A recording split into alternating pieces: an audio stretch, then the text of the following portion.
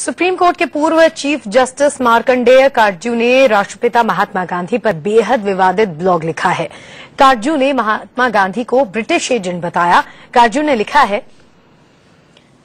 कि महात्मा गांधी ने लगातार धर्म को राजनीति से जोड़कर ब्रिटिश राज की फूट डालो और शासन करो की नीति को बढ़ावा दिया। क्या गांधी इस तरह से जानबूझकर ब्रिटिश एजेंट की तरह काम नहीं कर रहे थे? गांधी जी ने अपनी हर स्पीच लेख में हिंदू धर्म के विचारों को बढ़ावा दिया। इससे मुस्लिम लीग जैसी संस्था के प्रति मुसलमानों का झुकाव बढ़ा। ये भी लिखा गया है इस ब्लॉग में।